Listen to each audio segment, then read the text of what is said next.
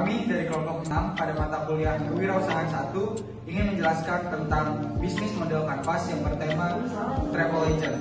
Sebelumnya, perkenalkan nama saya Muhammad Rizky Wibisono dengan NIM 22 003 01 009. Nama saya Zana Aulia Putri dengan NIM 2200 301002. Nama saya Luna Sulistio dengan NIM 2003 1007. Nama saya Rasika Magava dengan NIM 2200301005.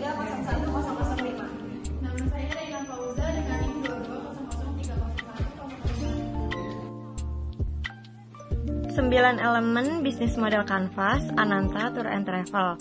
Yang pertama, key partner. Terdapat beberapa mitra yang menjalani kerjasama dengan pihak Ananta Tour and Travel, terutama pihak penyedia akomodasi. Untuk kebutuhan transportasi kendaraan, Ananta Tour and Travel bekerja sama dengan Permata Rencar untuk armada mobil dan Peguyuban Jeep Bromo untuk armada Jeep.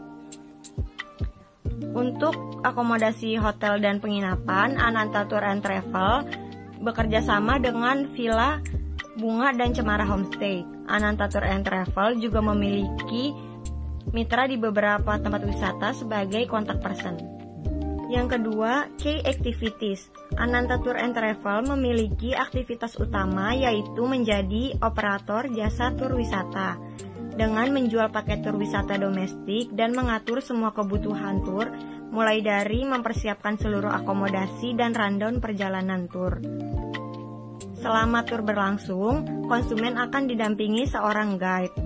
Selain itu, Ananta Tour and Travel juga melakukan kegiatan pemasaran pada berbagai media promosi terutama melalui online marketing. Yang ketiga, key resource. Sumber daya yang dimiliki oleh Ananta Tour and Travel terdiri dari sumber daya fisik dan sumber daya manusia. Untuk sumber daya fisik, Ananta Tour and Travel memiliki dua unit kendaraan mobil serta aset lainnya yaitu seperti satu unit kamera dan satu unit kamera action cam sebagai alat dokumentasi. Sedangkan untuk sumber daya manusia, Ananta Tour and Travel memiliki tiga orang pegawai yang bekerja secara shift atau bergantian saat tur. Ada yang bertugas sebagai driver dan ada yang tugas sebagai guide. Yang keempat, value propositions. Ananta Tour and Travel memiliki beberapa keunggulan seperti menerapkan sistem private group di mana dengan minimal peserta 6 orang, konsumen akan mendapatkan harga yang lebih murah. Mahasiswa serta instansi dan perusahaan Segmen tersebut dipilih karena jumlah permintaan yang cukup tinggi dengan lingkup pasar yang luas. Yang kelima yaitu customer relationship. Dalam hal personal assistant memiliki kontak person yang memegang peranan penting karena bertugas untuk menjalin komunikasi dengan konsumen hingga proses pembelian dilakukan.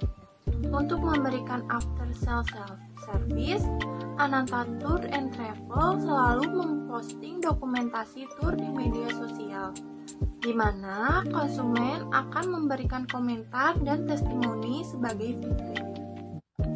Keenam yaitu channel. Ananta Tour and Travel memiliki dua jenis saluran distribusi, yaitu secara langsung atau direct dan tidak langsung atau indirect. Untuk distribusi penjualan secara langsung, Tour and Travel melakukan distribusi penjualan jasa melalui word of mouth dan proposal tour. Sedangkan distribusi secara tidak langsung dilakukan melalui online, yaitu melalui internet dengan media sosial seperti Instagram, WhatsApp, dan lain menjadi pilihan untuk memasarkan produknya. Yang ketujuh, customer segment. Secara garis besar, segmen pasar yang dituju oleh Ananta Tour and Travel adalah semua kalangan dari anak-anak hingga dewasa. Untuk itu, spesifikasi khususnya Ananta Tour and Travel membidik wisatawan sebagai target utamanya, baik dari dalam kota itu sendiri maupun dari luar daerah. Ananta Tour and Travel juga membidik segmen pelajar dan mahasiswa serta instansi dan perusahaan. Segmen tersebut dipilih karena jumlah permintaan yang cukup tinggi dengan lingkup pasar yang lebih luas. Yang kedelapan ada cost structure. Ananta Tour and Travel di dalam menjalankan bisnisnya mengeluarkan biaya untuk membayar gaji pegawai serta biaya admin yang menjalankan media sosial. Namun, pengeluaran terbesar berasal dari kebutuhan operasional tour, di mana biaya yang dikeluarkan meliputi pembayaran akomodasi, transportasi, penginapan, konsumsi, dan lain-lain. Berikutnya adalah revenue system. Revenue system adalah aliran pendapatan yang diterima Ananta Tour and Travel, utamanya berasal dari penjualan tiket paket tour ke berbagai tujuan. Selain itu, pendapatan lain berasal dari sewa mobil dan juga komisi partnership. Pada slide ini terdapat kolom bisnis model Canvas, yang mana key partnersnya itu terdiri dari transport, penginapan, resto, maupun pusat oleh-oleh. Dan juga ada mitra contact person, tour operation wisata, pemasaran, dan ada value operation yang terdiri dari harga tour terjangkau, fasilitas akomodasi yang lengkap, dan juga privasi lebih terjaga. Ada juga nih customer relationship, customer segmentar, ada key resource, lalu ada channel. Nah, di sini juga ada cost struktur yang terdiri dari gaji pegawai, biaya operasional tour, dan juga biaya admin. Dan juga ada revenue streams yang terdiri dari paket tour yang terjual, komisi dari mitra, serta sewa mobil.